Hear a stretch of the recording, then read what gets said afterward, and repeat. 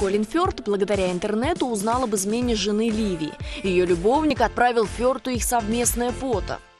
Нет, пусть разлетаются, они совсем не интересны. Колин и Ливия расстались. Фёрд после этого написал любовнику жены письмо. «Вы заставили меня страдать, но знаю, что вы тоже переживаете». Сейчас весь интернет обсуждает выдержку и воспитание Колина Фёрта. Рад слышать это.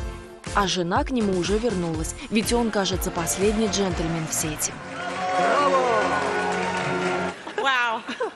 А кому в сети сочувствуют? Традиционно Дженнифер Энистон.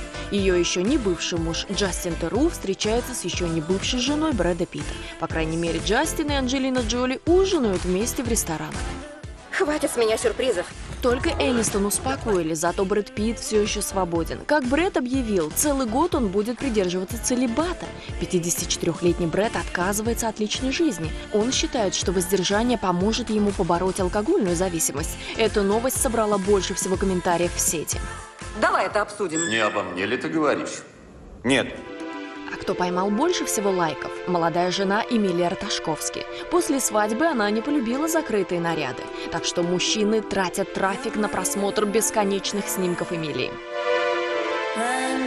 Мимими недели Лионель Месси опубликовал снимок новорожденного сына Чиро. Теперь у Лионеля трое сыновей. В роддоме этого папу запомнили. Во время родов он смотрел игру своей Барселоны по телевизору. Его крики заглушали крики рожениц.